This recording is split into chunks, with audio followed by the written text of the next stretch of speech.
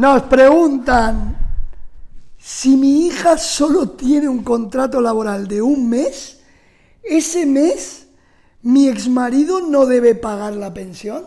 Bueno, una magnífica pregunta. A ver, nos faltan detalles. No sabemos si estamos hablando de una menor que ya tiene una edad para trabajar a partir de los 16 con consentimiento, si es mayor de edad, si sigue conviviendo, si se ha independizando. Son todo ese tipo de detalles que son imprescindibles para aquí mm, poder llegar a esa temor sobre la extinción del pago de la pensión de alimento. Lo que sí está claro y para que sirva de ayuda es que un contrato mínimo de un mes evidentemente no es una situación que podemos hablar de una independencia económica. Ahora habría que valorar esta hija ha terminado su formación académica, ya tiene una formación que le permite acceder al mercado laboral, es su primer y único contrato o ha tenido más contratos, porque claro, esto no se eterniza. Las pensiones de alimentos tampoco es una situación que podamos estar de, mm, sin fecha límite.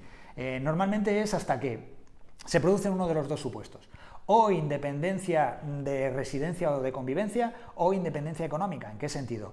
Ya tengo una capacidad económica que me permite mm, valerme por mí mismo. Entonces, habría que entrar en profundidad. Pero bueno, es una pregunta interesante que vemos muy mm, bueno compartir, porque puede que estés en esa situación y que te invitamos, ¿verdad? Desde ya a que te suscribas a nuestro canal y a que nos dejes tu comentario, ¿verdad?